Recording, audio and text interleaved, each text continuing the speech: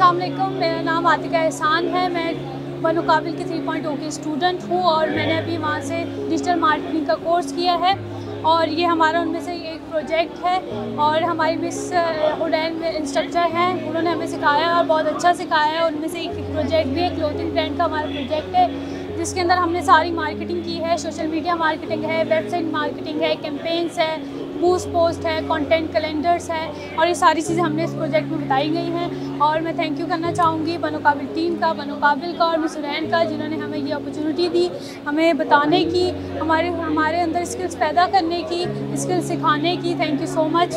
बनोकाबिल का भी और मिसुरैन का भी thank you so much From classroom to career the journey begins